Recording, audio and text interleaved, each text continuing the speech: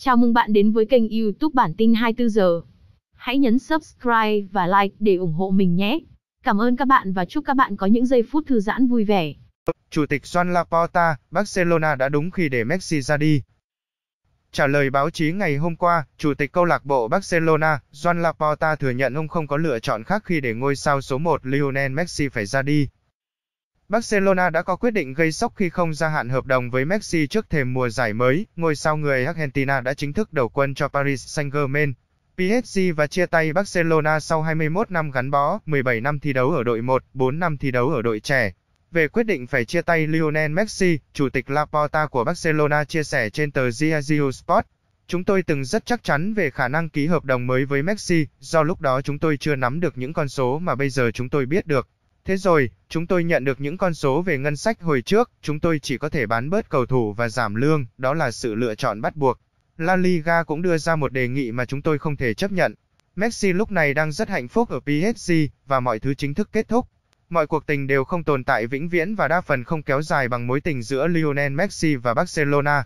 Messi đã thi đấu 778 trận cho Barcelona, ghi 672 bàn, đoạt 10 danh hiệu La Liga, 4 Champions League và 6 quả bóng vàng.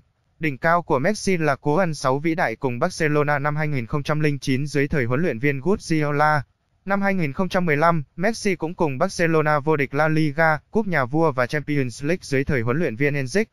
Chủ tịch Laporta cũng tri ân những đóng góp của Messi, tất cả những gì tôi phải nói với Messi là chúng tôi vô cùng biết ơn cậu ấy, giữa Lionel và Barcelona là một câu chuyện tình. Nhưng theo thời gian, mối quan hệ nào cũng phải thay đổi và đó là quy luật tất yếu của cuộc sống. Chúng tôi đã lên kế hoạch để giữ cậu ấy ở lại theo hợp đồng có thời hạn 2 năm, nhưng có những biến động khiến điều đó không thành hiện thực. Messi là cầu thủ hay nhất thế giới và luôn khát khao chiến thắng, do đó tôi không ngạc nhiên khi nhiều câu lạc bộ muốn sở hữu cậu ấy. Messi xứng đáng được hạnh phúc, cũng như gia đình cậu ấy, bây giờ chúng tôi sẽ là đối thủ của nhau, và chúng tôi phải thích ứng với sự thay đổi đó. Tôi tin Messi chắc chắn sẽ thành công ở môi trường mới, Chủ tịch Barcelona cũng nói kỹ hơn về số nợ khổng lồ của đội bóng. Do ảnh hưởng của đại dịch COVID-19, Barcelona đã thiệt hại 91 triệu euro trong mùa giải 2020-2021. Tính tới thời điểm này, đội bóng đã lỗ số tiền 487 triệu euro, tổng nợ của Barcelona đã lên mức 1,35 tỷ euro.